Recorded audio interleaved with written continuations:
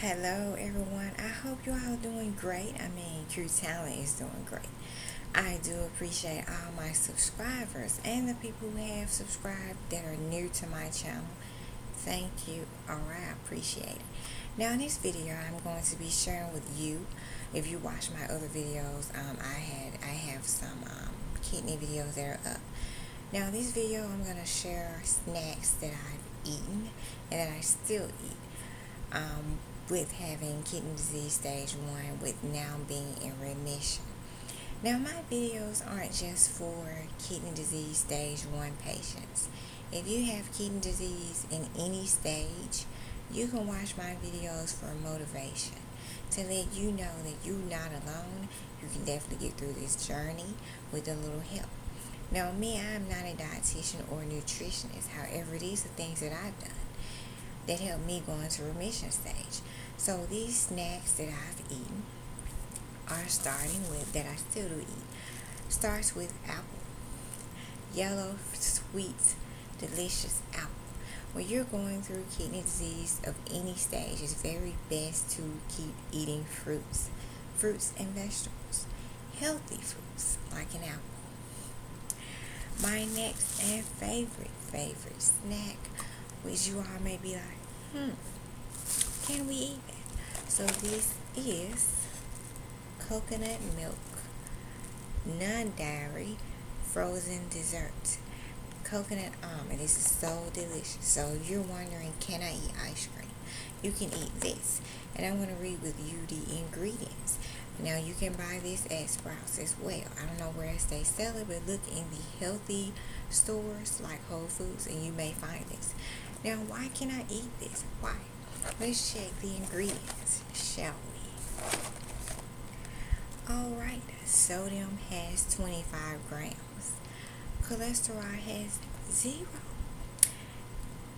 Total carbon total carbohydrate has 15. And then protein is most importantly what we were looking for is one gram. So you can eat ice cream, alright? You can eat ice cream. And it kills that sweet tooth that you may want to look for. So these are the bars.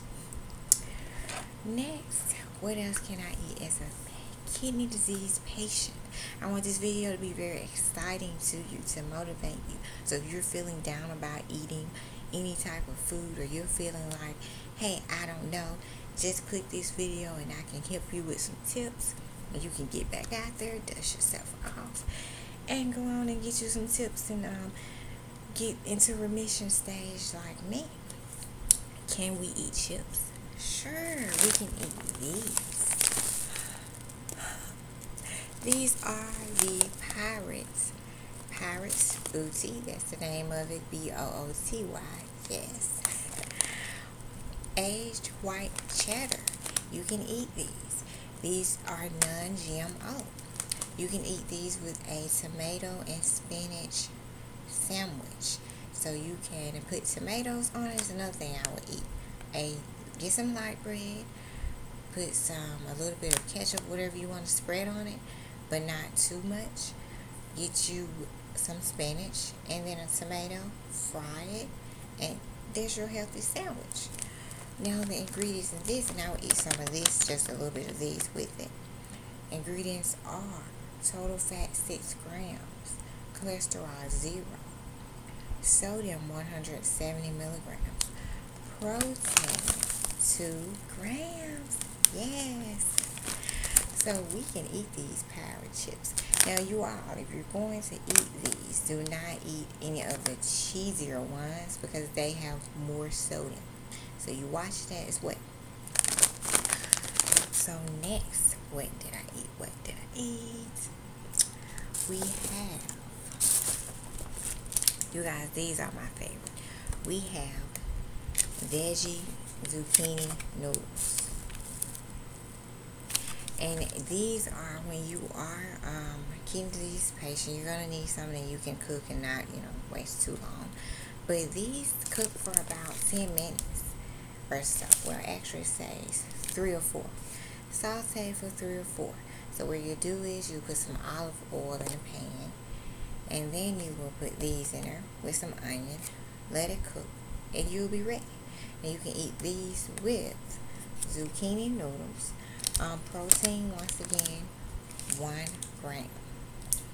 Um, everything else, cholesterol zero. Sodium is 10, so you need less sodium as possible. And then calories is 10. This is a great snack that I still eat. And I will eat this with Club Snack Crackers. But I will get the mini ones. The mini snack crackers, you get the large ones or the mini ones. But I would get the mini ones and put it in the zucchini and eat it. It is so good.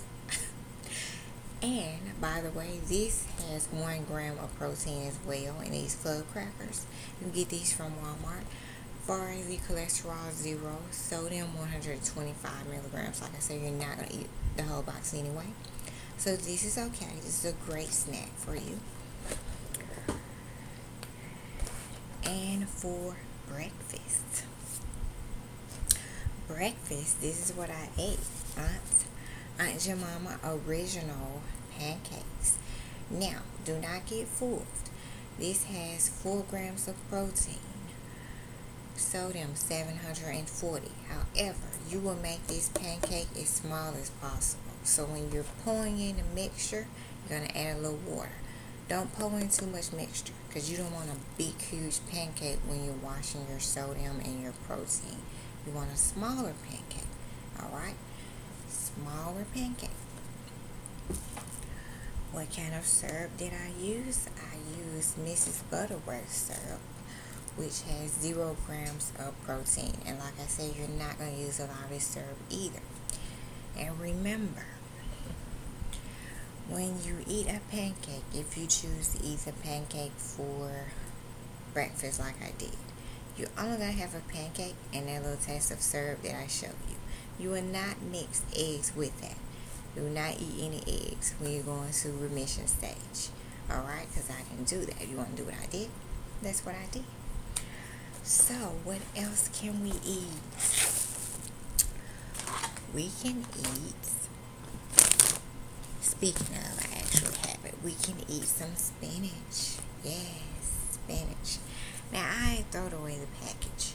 Any type of spinach is good. But if you get it from the health store, like I said, it's going to have less less sodium or less protein. That's where I usually get it from.